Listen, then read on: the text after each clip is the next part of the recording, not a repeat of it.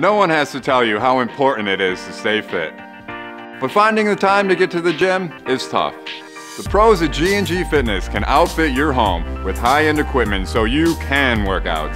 Don't miss our two-day madness sale, January 3rd and 4th. Get the best deals of the year on our top brands like Life Fitness and Octane. And enjoy free delivery and setup.